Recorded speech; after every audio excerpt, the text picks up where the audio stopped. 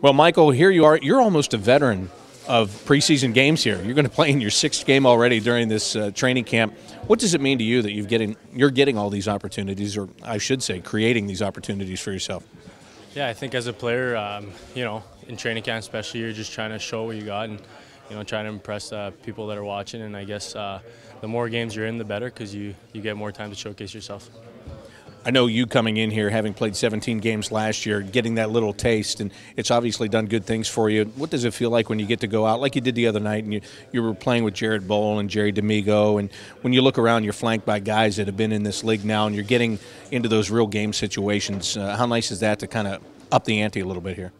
Yeah, those games uh, for sure helped me, you know, uh, with confidence and just to get used to the pace of the game. I think uh, last year those 17 games were a good experience for me, and uh, I came in the camp this year, you know, knowing to, what to expect, kind of, and uh, like playing with guys like Boll and D'Amigo last game, I think it went well. We're just, you know, hardworking guys. We chip pucks in and make simple plays, and I think it went well.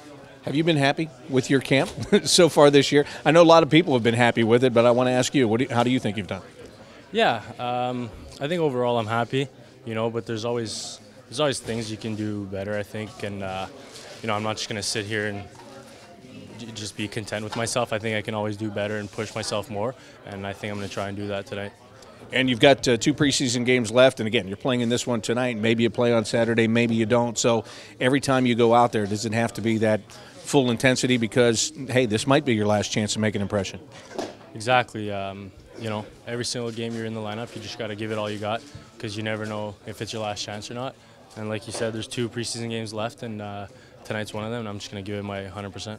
You know, the funny thing is the lineup has changed, the opponent has changed, but one thing that's been consistent is the way that you guys have put put away games as a team. How nice has that been?